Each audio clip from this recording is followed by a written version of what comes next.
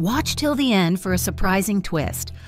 Tyson the Pomeranian, a secret agent by night, received an urgent mission the case of the missing sock.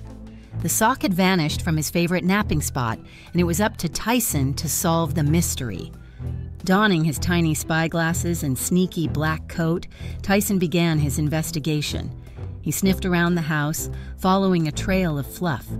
He interrogated the family cat, Whiskers, who simply yawned and pointed to the backyard. Outside, Tyson spotted suspicious paw prints leading to a hole under the fence.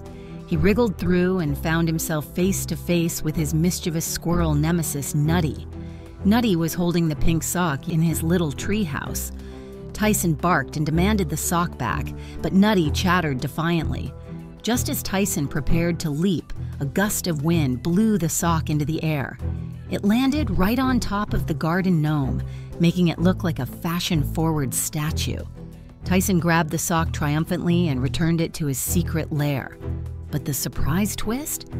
Tyson revealed a hidden compartment in his spy coat and pulled out a collection of socks he'd borrowed over time. Turned out Tyson had his own secret stash of socks. With a wag of his tail, Tyson knew his secret was safe, at least until the next mission.